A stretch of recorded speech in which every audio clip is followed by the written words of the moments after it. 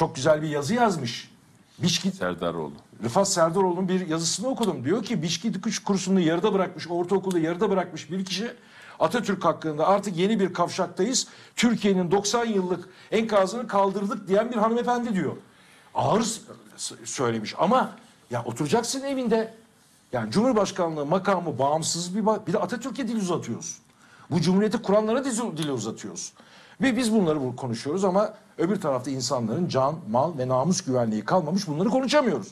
İşte bu dediğinizde de hemen yandaş medyadaki yazar çizer entel dantel takımları var. Ya, yıkama yağlamacı gazete. Görevleri onun için maaş Gazeteci falan değil. O herifler Gazeteci he- falan değil hemen bunlar, bunlar a- a- bu 90 yıllık enkazı kaldırdık şeyi üzerinden burayı öven ve Atatürk'e ve Cumhuriyet'e e, küfreden şeyler var. Şimdi o yazan çizenlere bir şey hatırlatmak istiyorum. Osmanlı'da ilk nüfus sayımı 2. Mahmut döneminde yapılıyor. İyi dinleyin lan. Dallamak takımı. Yazar, çizer, entelli, dantelli. İkinci Mahmut zamanında yapılıyor. Duydunuz mu lan? Duy, duyun. Ve sadece erkekler ve hayvanlar sayılıyor. Sadece kadınlar sayılıyor. erkekler ve hayvanlar. Kaç ev, e, bu evde erkek var? Beş. Kaç tane hayvan var? İşte on tane sığır var. Kadınlar yok.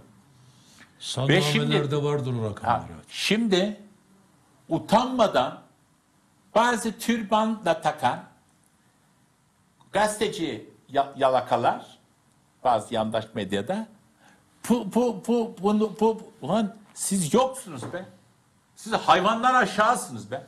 Ya onlara göre. Ya tabii canım işte Osmanlı Osmanlı'yı savunuyorsunuz. Yeni Osmanlı düzeni.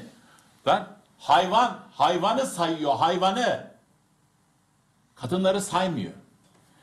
Efendim biz e, cumhuriyet oldu, harf inkılabı oldu. Biz eski e, şeyimizi kaybettik. Lan ne, ne diyorsunuz lan? Cumhuriyet ilan ettiğimizde Türkiye toprakları içerisinde kalan ahalide yüzde yedi okuma yazma. Okuma yüzde yedi, yazma yüzde iki buçuk. Evet. Yazım Yazamıyor. buçuk, yazamıyor.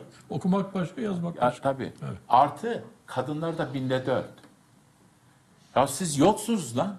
Binde dört bile fazla. Yüzde yani şimdi şimdi siz ne diyorsunuz? 1923 yılında işte e, bu tespit yapılıyor.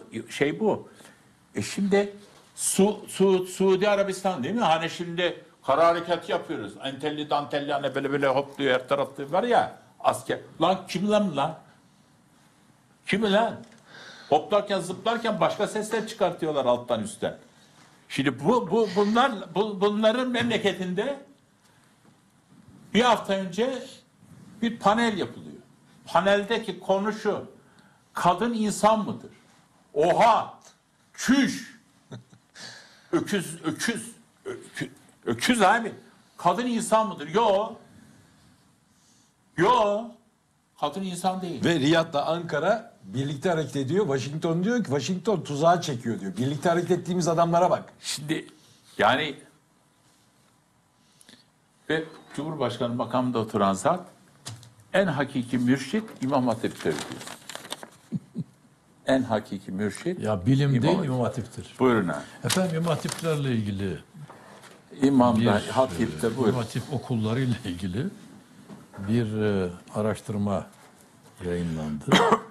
Ve imam hatiplerin fen derslerinde çok düşük not aldıkları, üniversite Tabii. sınavlarında en altlarda oldukları tespit edilmiş yani bilimlik çalışmayla tespit edilmiş.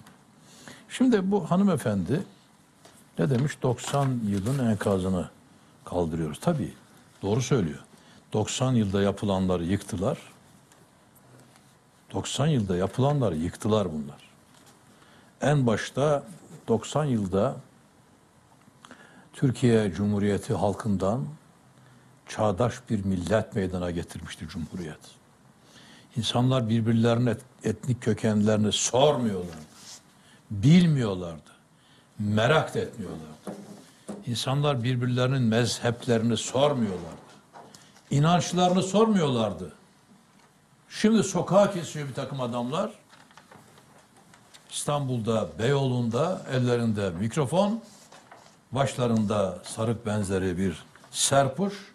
İnsanlara soruyorlar namaz kılıyor musun, kılmıyor musun? Osmanlı geri gelsin mi, gelmesin mi? Böyle sorular soruyorlar ve bunları yayınlıyorlar. Cumhuriyetin harcını dağıttılar. Cumhuriyet birleştirmişti halkımızı. Bunlar bunu yıktılar ve enkaz meydana getirdiler. Cumhuriyetin bütün kurumları, kazanımları yıkıldı, yerle bir edildi. Şimdi o enkazı topluyorlar. Peki toplasınlar. Yani bir de